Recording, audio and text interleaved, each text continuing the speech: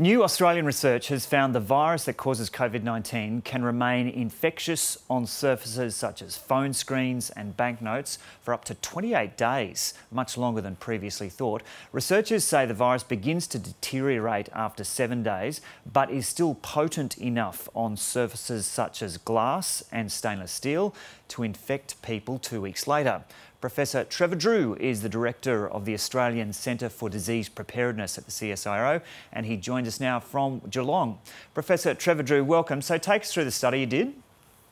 Uh, good morning. Yes. So, what we did was we decided that we wanted to understand just what the uh, level of uh, degradation of this virus was over time in the sort of uh, solutions that you might uh, find uh, be, being coughed up by people. So we took a sort of an artificial mucus, if you will, which which was uh, um, chemically made to uh, simulate the components of, of the uh, sort of mucus that people might be coughing up. Uh, and we suspended a set amount of virus in this solution and then dried it onto different materials and then kept those materials over time at different temperatures uh, in the dark just to understand what the effect of temperature would have uh, over time on the survival of the virus. We had an extremely sensitive method of, of detecting the virus, and, it, and I would stress this is live infectious virus. This is not uh, the sort of just detecting fragments by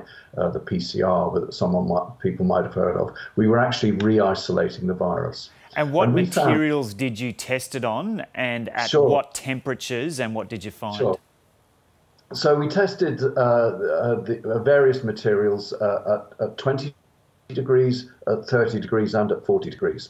And the materials we chose were those which you might commonly encounter in the environment stainless steel, such as on door handles, uh, cutlery, etc., uh, glass, um, such as you might find in, in glasses and phone screens, ATM machines, etc., vinyl, uh, which is commonly found on grab handles in public transport. Uh, and we also tested paper notes and polymer notes to, to judge whether or not cash might be a, a potential uh, way to transmit virus from one person to another uh, by this method. And we also tried cotton as well. And what we found was that for all of the non absorbent uh, surfaces, in other words, everything other than cotton, the virus did survive for quite a long time. Um, we, we were able to detect it 28 days after infection, after we'd, uh, we'd contaminated the surfaces. This is recovering live virus back that could then infect our cell cultures.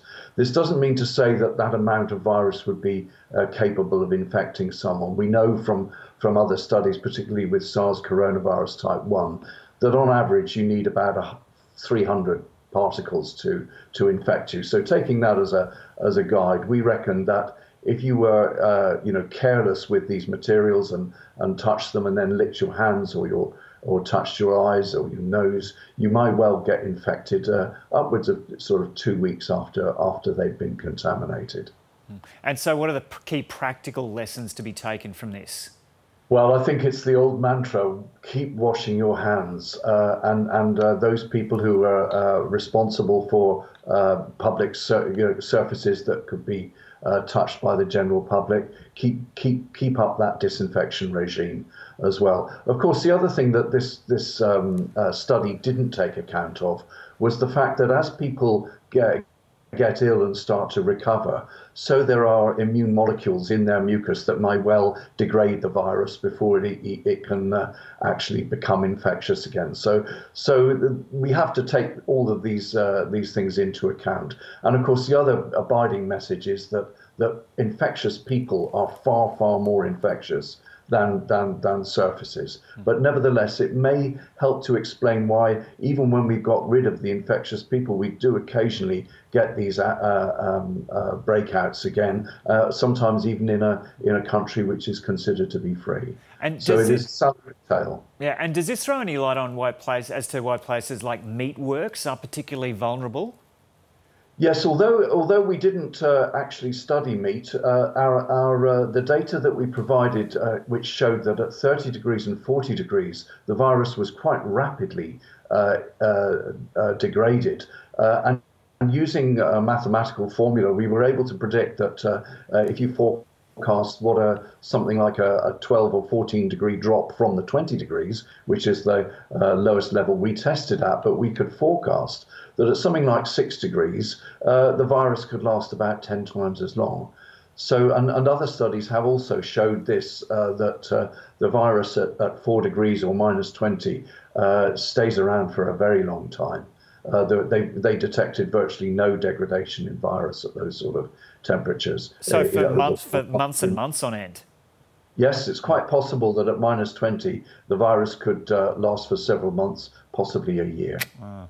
Now, some experts are urging caution as to how much can be taken from this study. Uh, one expert in Wales says the respiratory fluid has uh, white cells and enzymes that tackle the virus, and in his view, viruses would still only survive a matter of hours on surfaces because of that. What do you say to that? Well, uh, the, the fact was that when we when we suspended this uh, virus in, in what we call might might call an artificial mucus, uh, it certainly survived for a long time. Now we know, as I said, that, that people as they start to mount an immune response, there's some of those chemicals may be innate, but some of them are, are acquired. In other words, they are developed uh, as the as the um, uh, person uh, responds to the infection. So certainly in that sort of situation, uh, we wouldn't expect the virus to last as long. But we, we could only accommodate uh, uh, one variable at a time in order to draw this conclusion that, that under, under these optimal conditions, the virus could survive for quite some time. So it probably represents someone who is uh, at the peak of their uh, virus infection, but has yet to develop any any immunity. So so it, we have to take it with a uh, obviously with those caveats in mind. Uh, and, and it would be a good experiment to try to get mucus directly from infected people at various stages of, of their infection uh, and, and see how long the virus survives in, in, that sort of scenario. But we did do our best to try to recreate uh, mucus as, as far as we could, which had no immunity within it. And another expert says the study is not too concerning because he understood it was done in the dark and not in light where UV can degrade. What's your response to that? Absolutely right, but we must bear in mind that uh, it, it's direct sunlight. UV. If it's gone through windows, uh, the amount of UV is very, very much less, uh, if, if, if any at all. Uh, so, so this does represent uh, uh, an, an, inside environment, but again, we, we have to take those caveats in mind. Yeah. Certainly, as I said previously, direct infection, direct exposure is by far the more important mm. one. But we shouldn't neglect the value of washing your hands uh, and, and the value of disinfecting surfaces that are commonly touched. And after having done this study, what do you say to people who dismiss COVID as a little flu or just like the flu? Well, I think that's obviously uh, out with this experiment, but I think we only have to look at the statistics to see how many people are dying within a month of getting COVID 19 infection, uh, SARS coronavirus 2. Uh, it's it's not a trivial disease, and uh, particularly for older people, uh, the uh, the outcomes can be significant, if not fatal. Okay, Trevor Drew from the CSIRO, thanks so much for talking to us this morning. My pleasure.